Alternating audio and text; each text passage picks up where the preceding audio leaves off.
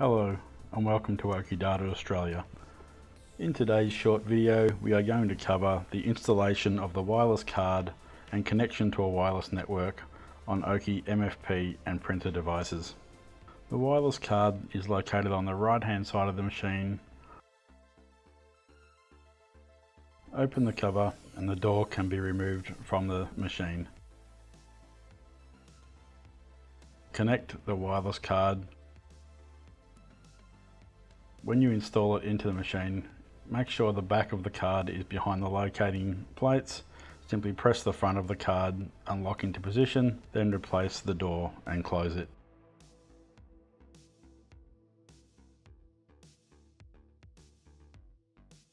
To enable the wireless card, power on the MFP or printer device, press device settings, then scroll down to admin setup. Press admin setup and enter the administrator password. Press OK after the password is entered. Scroll down to user install.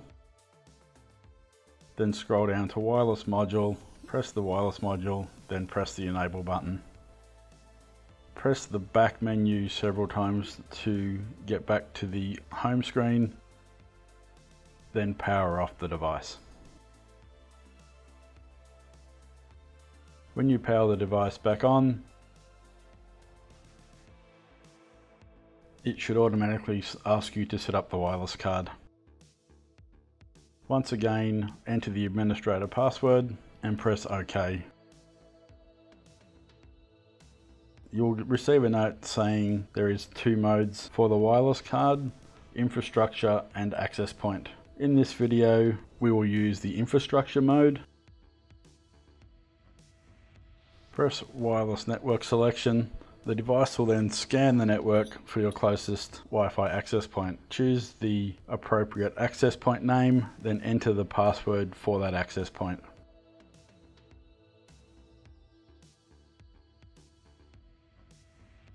Confirm they are the correct details and the device should then connect to the access point. Press the close button You should now see a Wi-Fi symbol on the control panel.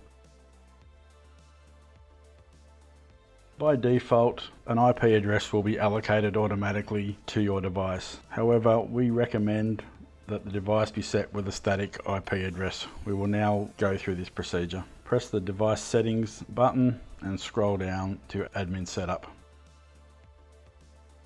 Enter the admin password then scroll down to network menu, press network setup, press network setting, change the IP address to manual and you will see the current IP address. If required, use the up and down arrows or the keypad to change this address and enter the appropriate subnet mask. One thing to note is IPv6 should be disabled unless absolutely required.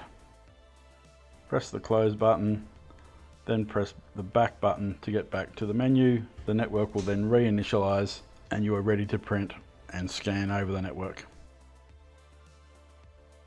Thank you for watching our video. If you have any further questions or do not have a CD drive attached to your computer, all of the drivers and user manuals can be downloaded from our website at www.oki.com.au.